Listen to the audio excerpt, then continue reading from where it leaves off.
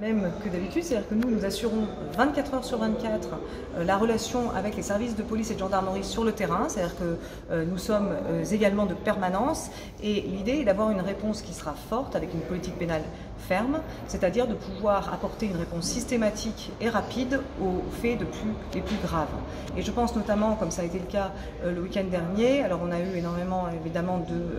d'infractions routières, là il faut attendre la fin de l'enquête pour pouvoir justement apporter certaines réponses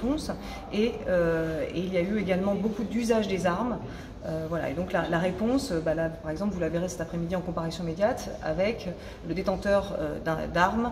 qui comparait, de même que des violences intrafamiliales qui passent aussi en comparution immédiate cet après-midi. Il y a une mobilisation particulière des, forces de, police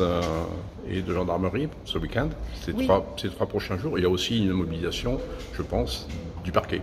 Oui, tout à fait. Alors, une mobilisation des,